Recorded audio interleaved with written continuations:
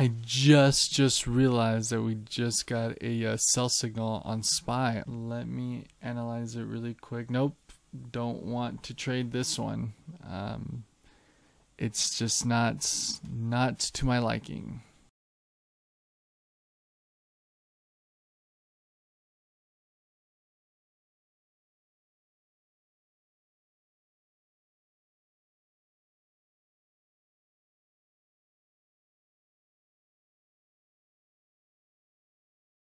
Yep, it's a sweet deal that I didn't trade. Uh, the signal right here, I'm really honing down on my strategy.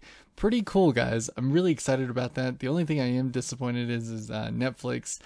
Uh, just, um, I'm not at that level yet. I'm not at that level quite yet. So, but I am really thankful, really happy that even though I got a signal, it just wasn't within my parameters and um, I didn't trade it. So that's a win in my book, guys. So uh, that's it. That's all I got for you.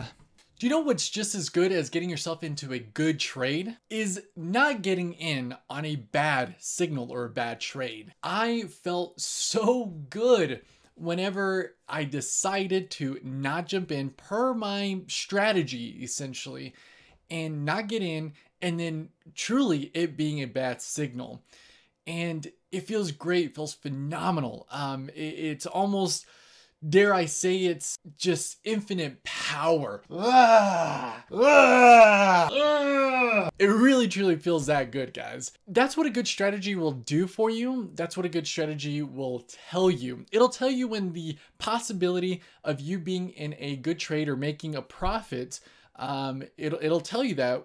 And it'll also tell you when you shouldn't get in, when the odds are completely against you. So that is what I wanted to um, tell you guys and show you guys. I'm so happy I didn't trade that that uh, signal, even though, gosh, I I just I wanted to so bad just because it was a signal of mine that popped up, but I didn't. I'm following through with my strategy. I'm getting over it. I'm getting, I'm learning, I'm, I'm getting it. I'm working super ridiculously hard to get over the emotional side of trading and trying to think logically and that's what's going to help me. That's what's going to um, help me succeed in this game of day trading.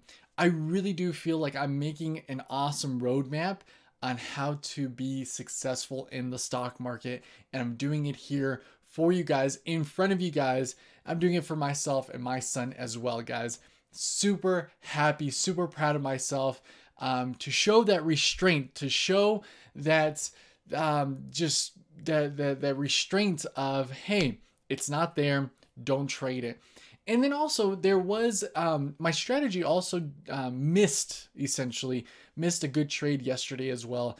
But I'm not so disappointed in that. There's always the next trade, guys. There's always the next trade.